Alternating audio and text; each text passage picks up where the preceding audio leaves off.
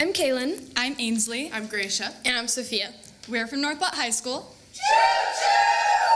And this poem is titled A Trial for Our Childhood. Good afternoon, Your, Your Honor, Honor, ladies and gentlemen of the jury. We're here today representing millions of young girls. whose innocence and youth was slaughtered, taken from them too soon. These are their stories. Our first witness, Lindsay Armstrong. cannot be with us today. This 17 year old took her own life after she was raped. And the man who raped her cited her lacy underwear as a sign of her consent. And they were used as evidence against her in court. When Jordan Gomes was nine years old, she survived the mass shooting at Sandy Hook Elementary School. She was forced to grow up. Carrying the death of 26 of her classmates. Our next witness, Malala Yousafzai. was shot on her school bus. At the age of 15, For speaking out about education for girls in Pakistan. These crimes against girls happen everywhere. We are witnesses too. 15 year old me had to realize that having opinions different from my father's would make me an outsider in my own family. I have had to teach myself how to dodge being hit on and catcalled. Why did I have to learn to avoid eye contact from the old men in the grocery store? Why, didn't they have to, keep themselves under control? Being a blonde teenage girl means that I've been called dumb by almost every person I've encountered.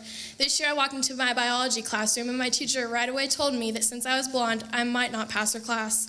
As if being feminine makes us less capable. When I was 16, someone tried to comfort me after I told them my sexual abuse story by insisting that boys will be boys, but eventually they turn into men, We're here today to bear witness to all crimes committed against young women. both big and small. This, is justice for every girl who was forced into something she didn't want. For every girl Who was forced to grow up because of violence she didn't cause. This is justice for every girl who was taught that her body is something to use. This is justice for every girl who had to raise her siblings. For every every girl girl- who tried to save her mother from her father. for every girl who got dress coded because her shoulders were too distracting. for every girl who was told she should take home ec instead of calculus. For the girls who were told they were too old to dance playfully around the kitchen.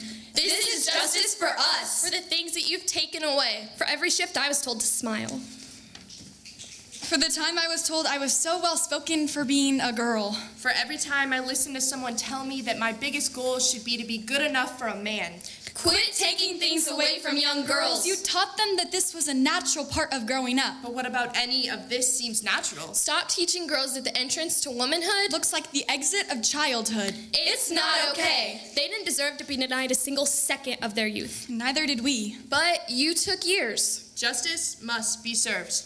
The prosecution rests.